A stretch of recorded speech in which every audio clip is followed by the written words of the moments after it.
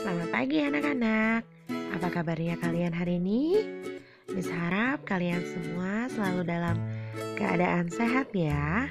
Jumpa lagi dengan Miss Lia hari ini di pembelajaran tematik. Masih semangat ya belajar dari rumahnya? Harus tetap semangat dan harus tetap menjaga kesehatan ya.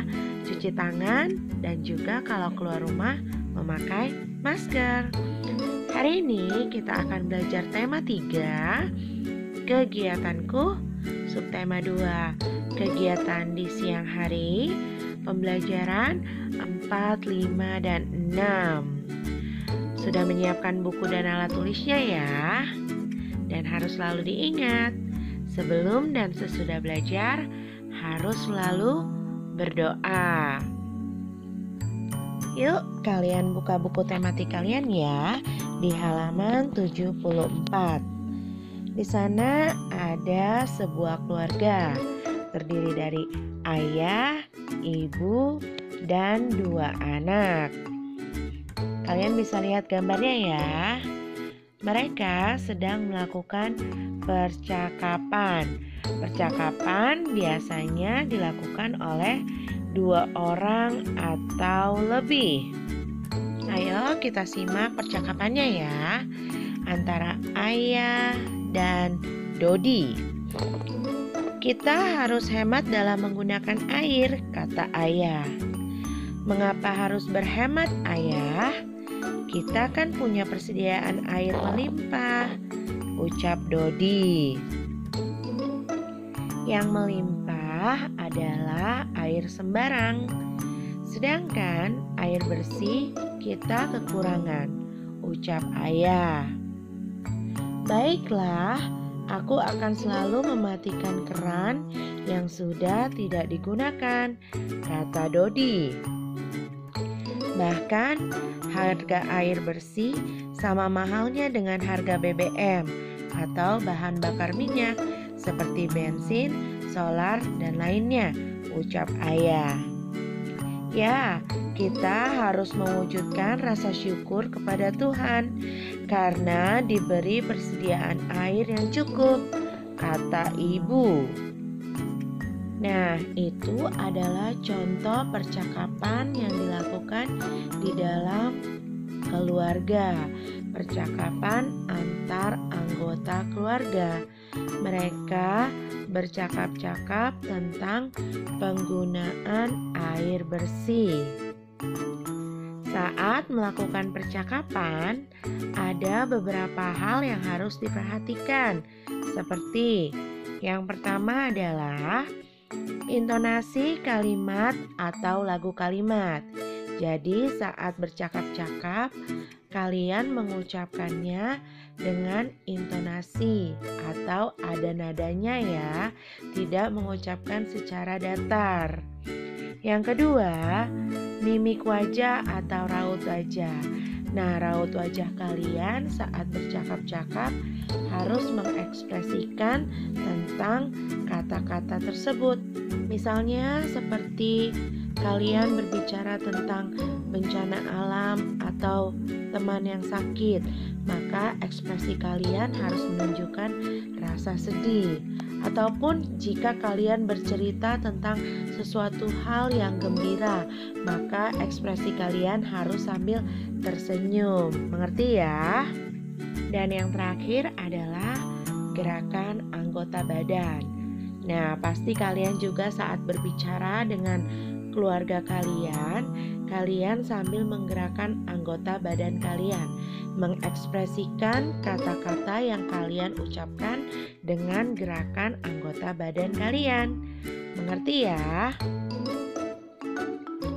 Inti dari percakapan yang tadi dilakukan oleh keluarga Dodi adalah berupa slogan atau anjuran untuk melakukan penghematan dalam menggunakan air bersih.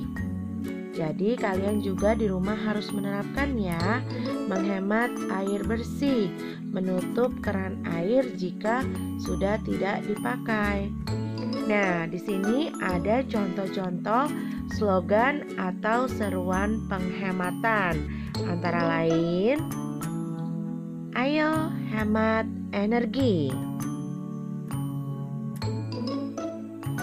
Hematlah menggunakan air. Mari berhemat kertas. Hemat listrik, selamatkan bumi. Nah, itu adalah beberapa slogan atau ajakan untuk melakukan penghematan ya. Kalian harus melakukan penghematan seperti menghemat listrik, menghemat air, ataupun menghemat kertas. Jangan memakainya sembarangan atau untuk hal yang tidak berguna. Saat melakukan percakapan, kita mengucapkan kalimat. Antar kata dalam kalimat itu saling berhubungan. Setiap kalimat pasti memiliki makna atau arti.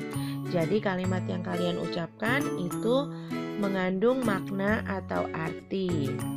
Nah, biasanya kalimat diawali oleh huruf kapital atau huruf besar, ya. Lalu, kalimat diakhiri dengan tanda titik, ada juga tanda tanya, maupun tanda seru.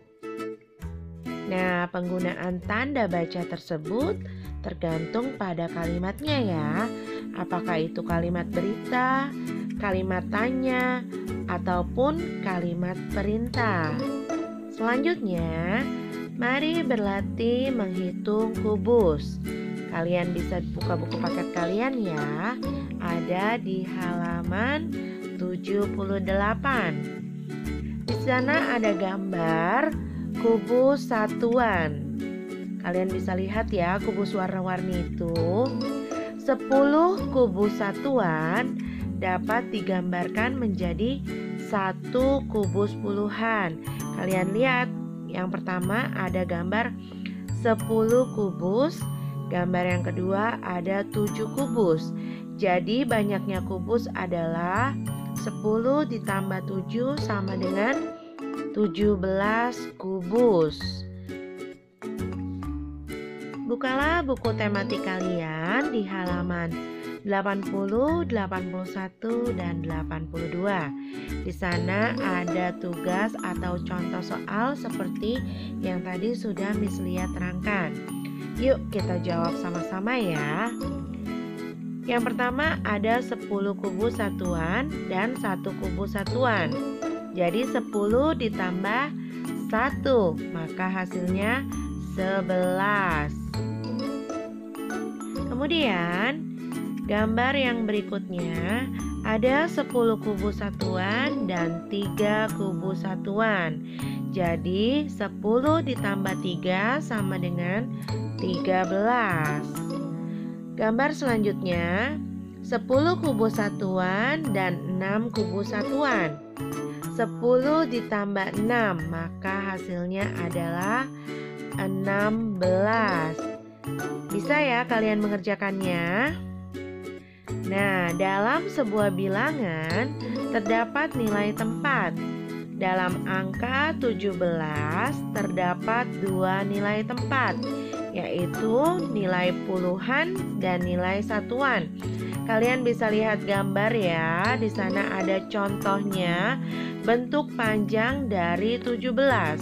17 terdiri dari angka 1 dan 7. Angka 1 menempati nilai tempat puluhan dan angka 7 menempati nilai tempat satuan.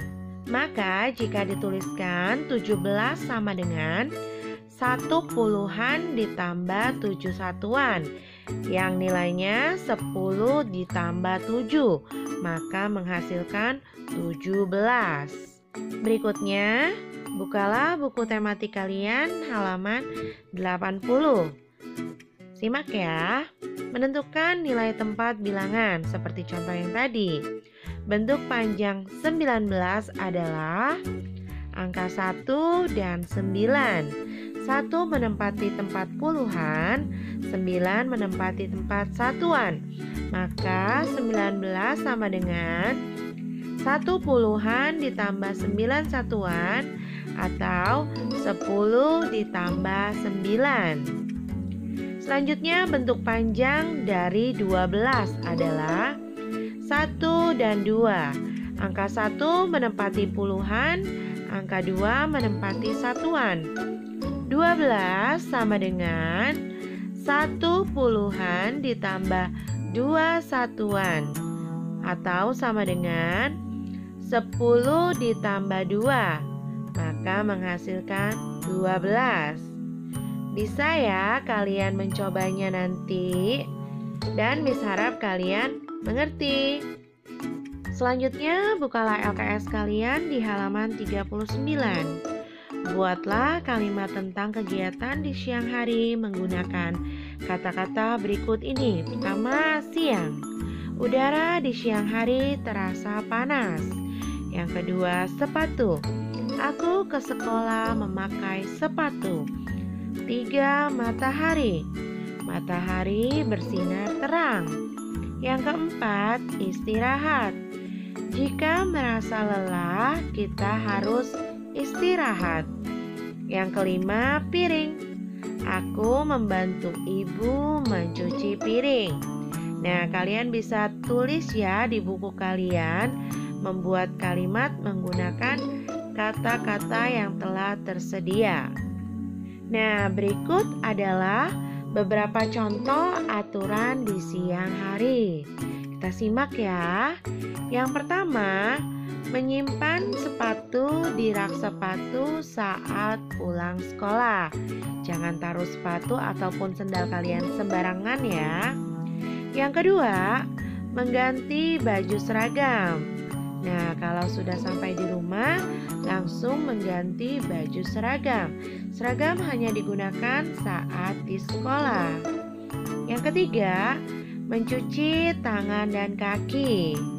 Yang keempat, makan siang. Yang kelima, tidur siang.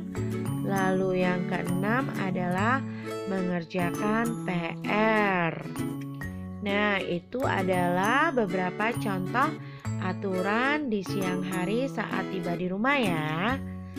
Kemudian kita akan membahas sebuah lagu. Di dalam lagu terdapat syair lagu. Nah, kalian menyanyikan lagu, ada syair lagunya ya. Syair dalam lagu itu adalah bunyi larik atau kata-kata di dalam lagu. Kata-kata di dalam lagu itu biasanya indah ataupun sangat bermakna. Maka ketika dinyanyikan akan enak didengar ya. Itu adalah beberapa pelajaran tematik kita hari ini. Kalian bisa menyimaknya di buku paket kalian maupun di LKS kalian ya. Jangan lupa yang tadi Miss Lia minta kerjakan, kalian harus kerjakan ya. Dibuka kembali buku tematiknya, lalu kalian bisa pause videonya halaman berapa saja yang Miss minta kerjakan. Nah, Miss harap kalian semua bisa mengerti dan memahami pembelajaran hari ini ya. Sekian dulu pembelajaran tematik kita hari ini. Sampai jumpa di pembelajaran tematik berikutnya. Miss harap kalian menikmati video tadi ya. Sampai jumpa dan terima kasih. See you and bye bye.